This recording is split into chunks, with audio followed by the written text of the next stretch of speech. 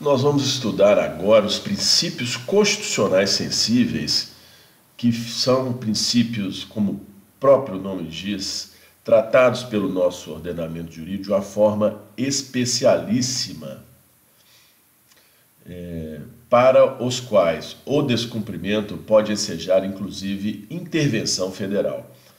Então, indo adiante, os princípios é, estão dispostos no artigo 34, inciso 7, não é?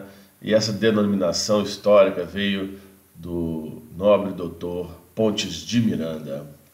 Os princípios sensíveis, eles vinculam tanto os estados quanto ao Distrito Federal uh, em relação ao seu cumprimento, tratando-se de obrigação, não é faculdade, tem que cumprir mesmo. Sendo assim, as consequências do seu descumprimento, quais sejam dos princípios constitucionais sensíveis, é justamente a decretação de intervenção federal, ou seja, a reprimenda mais gravosa do direito constitucional. Não é? É, nessa hipótese, a União pode suspender temporariamente a autonomia política do ente federativo, quais sejam Estado ou Distrito Federal que tenha praticado a referida violação. Quais são os princípios sensíveis constitucionais?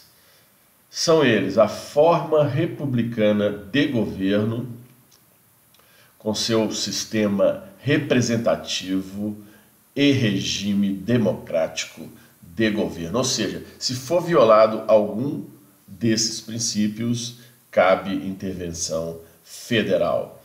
Também os direitos da pessoa humana, a dignidade da pessoa humana, autonomia municipal. Até coloquei a foto do Rio de Janeiro aí, que beleza, hein? Sempre é bom rever, na é verdade? Autonomia municipal. Então, é, não se pode interferir, é, qual seja, o Estado é, na autonomia municipal, que pode ensejar inclusive a intervenção federal em cima do Estado por essa violação. Também é um princípio é, sensível constitucional a prestação de contas da administração pública, tanto direta quanto indireta bem como a aplicação do mínimo de receita dos impostos estaduais, conforme, logicamente, parâmetros legais na área da educação e saúde. Coloquei aqui para me remeter ao aspecto de educação a Faculdade de Direito da Unifap, Universidade Vale do Paraíba, eh, em São José dos Campos, onde eu tive a honra de estudar. Um grande abraço a todos. Qual é o procedimento judicial utilizado quando o princípio sensível é violado? Porque, qual seja, é, existiu um descumprimento, não é? é? Esse descumprimento foi identificado, porém, para que seja oficializado esse descumprimento, qual seja, nessa hipótese de identificação da violação de um princípio constitucional sensível, o Procurador-Geral da República provoca o Supremo Tribunal Federal, qual seja, e o ministro relator, eh, em princípio, procura atuar como se fosse um mediador, dirimir o conflito, tentar ajustar ali é, a, a, essa forma anômala que está acontecendo, que ensejou a violação do princípio constitucional sensível. Então, o, o, o ministro relator do Supremo procura exaurir né, a, um, de todas as formas é, as possibilidades de é, que essa violação seja revertida. Porém, todavia, entretanto, contudo, se isso não for possível, é, o Supremo Tribunal Federal vai examinar o mérito, ou seja, se ocorreu efetivamente o descumprimento do princípio sensível, no caso concreto em tela.